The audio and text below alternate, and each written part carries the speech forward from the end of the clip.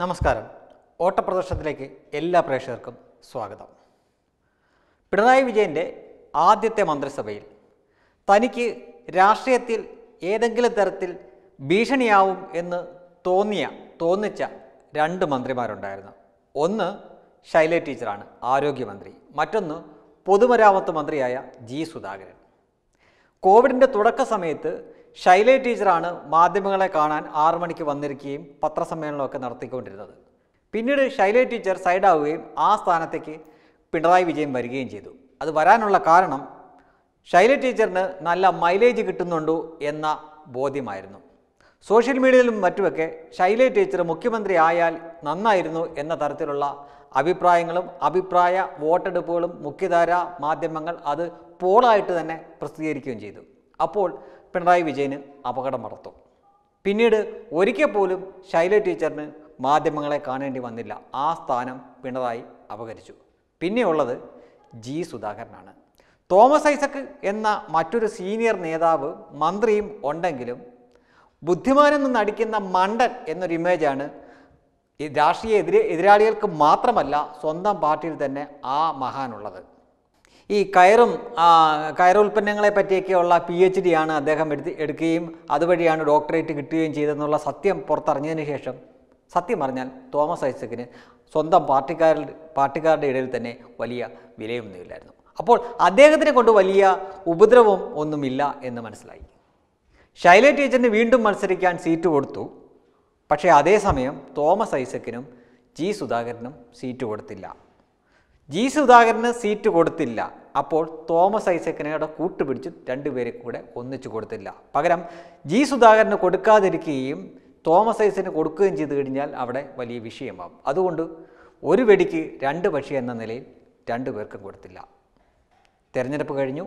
ഏറ്റവും വലിയ ഭൂരിപക്ഷത്തിൽ കേരളത്തിലെ ഏറ്റവും വലിയ ഭൂരിപക്ഷത്തിലാണ് ശൈല ടീച്ചർ ജയിച്ചത്. അൻപതിനായിരത്തിന് മുകളിൽ. പക്ഷേ മന്ത്രിയാക്കിയില്ല. അവിടേക്ക് വന്നത് വീണ ജോർജാണ്. ജി സുധാകരന് പകരം വന്നത് സ്വന്തം മരുമകൻ പേടിയായ മുഹമ്മദ് റിയാസാണ്. ഇനിയാണ് പിണറായിയുടെ കുരുട്ടുബുദ്ധി പ്രവർത്തിച്ചു തുടങ്ങുന്നത്. അത് ഈ മിന്നൽ പരിശോധന എന്ന തരത്തിലാണ്. അതായത് ഇവർ രണ്ടുപേരും കൈകാര്യം ചെയ്തുകൊണ്ടിരുന്ന രണ്ട് വകുപ്പുകളുണ്ട്. ആരോഗ്യ വകുപ്പും പൊതുമരാമത്ത് വകുപ്പും. അപ്പോൾ ആ രണ്ട് വകുപ്പ് മന്ത്രിമാരാണ് ഈ അടുത്ത കാലത്ത് നടത്തിയ എല്ലാ മിന്നൽ പരിശോധനയിലും നായകനും നായികയും. കഴിഞ്ഞ ദിവസങ്ങളിൽ വീണ ജോർജ് മെഡിക്കൽ കോളേജിൽ ചെല്ലുന്നു. അവിടുത്തെ കെടുകാര്യസ്ഥത കാണുന്നു. അവിടെ ഒന്നും ശരിയല്ല എന്ന് പത്രക്കാരുടെ മുന്നിൽ തന്നെ സ്ഥാപിക്കുന്നു. അതിനർത്ഥം എന്താണ്? അവർക്ക് മുമ്പ് ആരാണ് അവിടെ ഭരിച്ചുകൊണ്ടിരുന്നത്? ആരാണ് ആ വകുപ്പ് കൈകാര്യം ചെയ്തുകൊണ്ടിരുന്നത്? ശൈലേ ടീച്ചർ. അപ്പോൾ ശൈലേ ടീച്ചർ ഈ പറയുന്ന പോലെ അല്ലെങ്കിൽ പുറത്ത് പ്രചരിച്ച പോലെ വലിയ സംഭവമൊന്നും ആയിരുന്നില്ല എന്ന് പറയാതെ പറയിപ്പിക്കുകയാണ് വീണ ജോർജിനെ കൊണ്ട്. ആര്? പിണറായി വിജയൻ. ഇനി അപ്പുറത്തോട്ട് നോക്കുക. മുഹമ്മദ് റിയാസും ഇത് തന്നെയാണ് ചെയ്യുന്നത്. അദ്ദേഹം സർക്കാരിന്റെ ഗസ്റ്റ് ഹൗസിൽ ചെല്ലുന്നു. അവിടുത്തെ ഓരോ കള്ളത്തരങ്ങൾ കണ്ടുപിടിക്കുന്നു. അവിടുത്തെ കെടുകാര്യസ്ഥത കണ്ടുപിടിക്കുന്നു. റോഡ് പണി നടക്കുന്നിടത്ത് ചെല്ലുന്നു. ആ ഓരോ സ്ഥലത്തും ചെല്ലുന്നു. ഉദ്യോഗസ്ഥന്മാരെ വിരട്ടുന്നു. ഭയങ്കര അവിടെ അതിനു മുമ്പ് അതായത് അതിനു മുമ്പ് ആ വകുപ്പിൽ എന്തൊക്കെയോ വലിയ കുഴപ്പങ്ങളുണ്ടായിരുന്നു എന്ന് പറയാതെ പറഞ്ഞു വെച്ചുകൊണ്ടിരിക്കുകയാണ്. ഒരേ സമയത്ത് തന്നെ ഈ രണ്ട് മന്ത്രിമാരും വലിയ സംഭവമൊന്നും അല്ലായിരുന്നു എന്ന് തെളിയിക്കേണ്ടത് പിണറായി വിജയന്റെ ആവശ്യമാണ്. അത് അദ്ദേഹത്തിന്റെ ഇഷ്ടക്കാരെ കൊണ്ട് തന്നെയാണ് അദ്ദേഹം നടത്തി കാണിച്ചുകൊണ്ടിരിക്കുന്നത്. ഇനി ജി സുധാകരന് ദാ ഇപ്പോൾ പരസ്യ ശാസനം കിട്ടിയിരിക്കുകയാണ്. അടുത്ത പടിയായിട്ട് തരം താഴ്ത്തലാണ്. ജി സുധാകരൻ സത്യത്തിൽ അത് വേണം ആവശ്യമാണ്. അത്രമാത്രം ഒരു ന്യൂനപക്ഷ പ്രീണനം നടത്തിയിരുന്നു ആ വ്യക്തി അവിടെ. ന്യൂനപക്ഷ പ്രീണനം നടത്താൻ വേണ്ടി ഭൂരിപക്ഷ സമുദായത്തിനെ അപമാനിക്കാവുന്നതിന് പരമാവധിയും അദ്ദേഹം അപമാനിച്ചിരുന്നു. ഒടുവിൽ ഒരു ന്യൂനപക്ഷക്കാരൻ അവിടെ സീറ്റിന് വേണ്ടിയിട്ട് ഒതുക്കേണ്ടി വന്നത് ഒതുക്കപ്പെടേണ്ടി വന്നത് ആ വ്യക്തിയാണ്. അവസാനം നിവൃത്തിയില്ലാതെ പ്രതികരിക്കേണ്ടി വന്നപ്പോൾ ഇപ്പോൾ ഇതാ പാർട്ടിയുടെ അപ്രിയത്തിനും പാത്രമായിരിക്കുകയാണ്. ഇനി ഇനിയും കൂടുതൽ കടന്ന് മിണ്ടിയാൽ മിക്കവാറും സുധാകരന്റെ സ്ഥാനം പാർട്ടിക്ക് വെളിയിലാണ്. പക്ഷേ ശൈല ടീച്ചറിന് ബുദ്ധിയുണ്ട്. അവർ തുടക്കത്തിൽ തന്നെ അങ്ങ് ഉൾവലിഞ്ഞ് പതുക്കെ സേഫാക്കാൻ നോക്കി.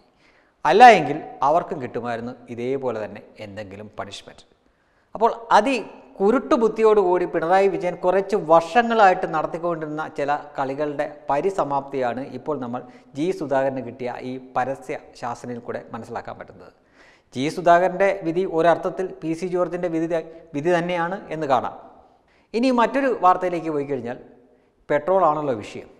പെട്രോളിന് ഇന്ന് കേരളവും വില കുറച്ചിട്ടുണ്ട് എന്നാണ് പാർട്ടിയുടെ മുഖപത്രം ദേശാഭിമാനി പറയുന്നത്. ആ പത്രമായതുകൊണ്ട് പിന്നെ കുഴപ്പമില്ല. അറുപത് ലക്ഷം വായനക്കാരൊക്കെ ഉണ്ടെന്നാണ് പറയുന്നത് വലിയ കാര്യം. എന്തായാലും അറുപത് ലക്ഷം മണ്ടന്മാരുണ്ട് എന്ന് അവർ തന്നെ പറഞ്ഞ സ്ഥിതിക്ക് നമുക്കും തൽക്കാലം അതങ്ങ് വിശ്വസിക്കാം. നികുതി കുറയ്ക്കില്ല എന്ന് സംസ്ഥാനത്തെ ധനമന്ത്രി തന്നെ പറഞ്ഞ സ്ഥാനത്താണ് പാർട്ടി മുഖപത്രം എന്ന് പറയുന്നത് കേരളവും നികുതി കുറച്ചു വന്നു ഓക്കെ അതെന്തെങ്കിലും ആയിക്കോട്ടെ. മാഗി കർണാടക തമിഴ്നാട് ഇതിന്റെയൊക്കെയുള്ള അതിർത്തി പ്രദേശങ്ങളായിട്ടുള്ള കേരളത്തിലെ സ്ഥലങ്ങളിൽ നിന്ന് കൂട്ടമായിട്ട് ആളുകൾ അപ്പുറത്ത് പോകുന്നു. പെട്രോൾ അടിച്ചിട്ട് ഇപ്പുറത്തേക്ക് വരുന്ന വാർത്തകളാണ് ഇപ്പോൾ പത്രങ്ങളിലെല്ലാം ഉള്ളത്. അതും ആ വഴിയും കേരളത്തിൽ നികുതി നഷ്ടം ഉണ്ടോ എന്ന് ഓർക്കുക. വേറൊരു വഴി കൂടെ നടക്കുന്നുണ്ട്.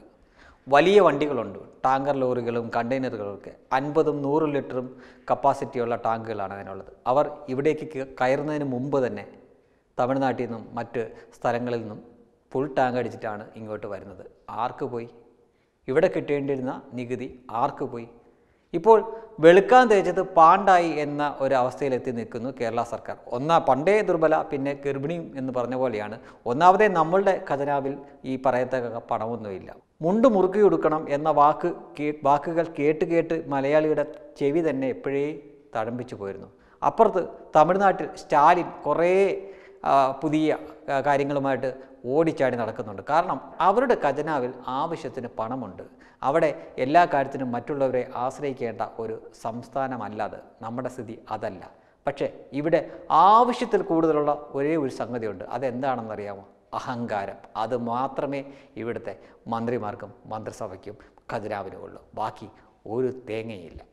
ഇനി നമ്മുടെ സംസ്ഥാനത്തെ കോവിഡിന്റെ കണക്ക് പറയുകയാണെങ്കിൽ ഇന്ന് ആറായിരത്തി അഞ്ഞൂറ്റി നാൽപ്പത്തി ആറ് പേർക്കാണ് കോവിഡ് സ്ഥിരീകരിച്ചത്.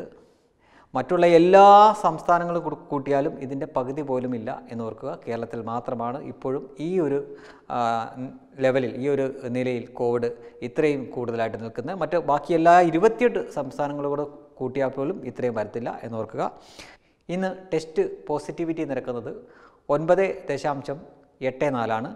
അൻപത് പേരാണ് കോവിഡ് മൂലം മരണപ്പെട്ടതായിട്ട് സർക്കാർ തന്നെ തരുന്ന വിവരങ്ങൾ. എല്ലാവരും സുരക്ഷിതരായിരിക്കുക. ശുഭരാത്രി. Web desk Tatwamayi News.